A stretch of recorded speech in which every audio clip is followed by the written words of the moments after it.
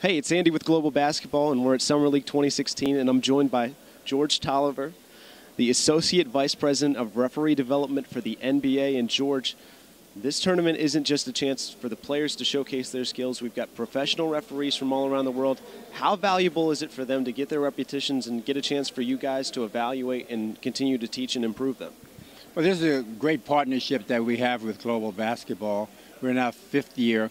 And what we do is we bring in referees uh, from the international community from all over the world and blend them in with our D-League referees who are in training and also NBA and WNBA referees who also participate at this event.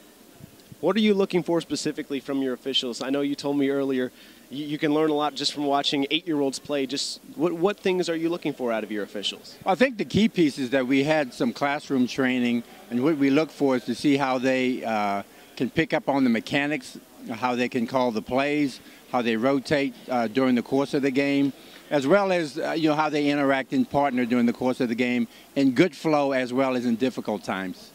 And what's your impression of the officiating? We're, we're two days in, uh, especially the FIBA guys coming in perhaps for the first time getting the American game. How have they adjusted here?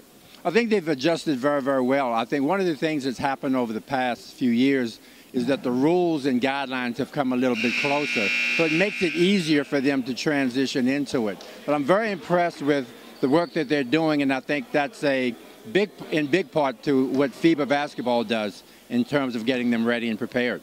We're talking to George Toliver of the NBA officiating. And George, really, from here for officials, what's the journey or the timeline coming from the D League or internationally, the work to get to the NBA?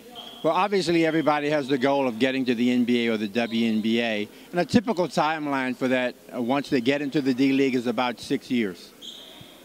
And, and, to get from the D League to the NBA, what, what is the most important thing for an official?